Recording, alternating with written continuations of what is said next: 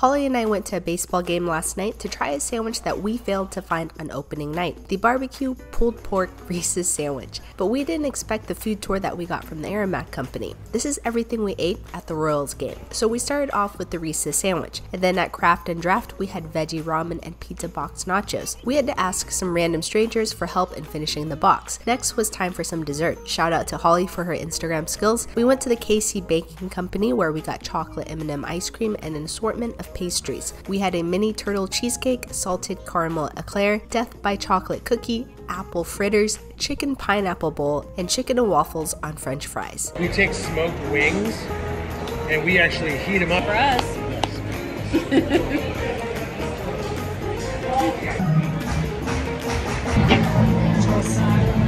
The chocolate cookie was definitely my favorite. Big shout out to Aramark for this food tour that we totally did not expect, but we loved.